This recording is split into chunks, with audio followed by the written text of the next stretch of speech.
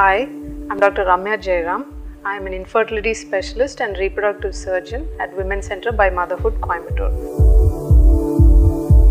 A very common condition that a lot of women are very worried about, and that's something called fibroids. So, what you need to understand is fibroids is not something that you need to be worried about because a lot of the times these fibroids are very benign conditions. So, what is a fibroid? A fibroid is basically, you know, your uterus has a body and there are cells which make up this uh, body.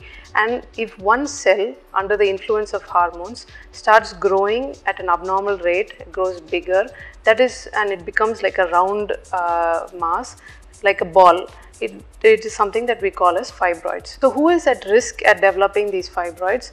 It is usually women who are obese, who have a genetic tendency. So, if you have a family history of somebody having fibroids, you have to understand that you are at risk of developing fibroids as well. In women who have hyperestrogenic conditions, when I say that, I mean women who have either PCO or uh, conditions where the levels of estrogen in their body is much higher compared to others, then they have a uh, tendency to develop fibroids as well. So, these fibroids usually can be picked up either by somebody's symptoms or when we do an ultrasound or some sort of an imaging modality and we pick it up.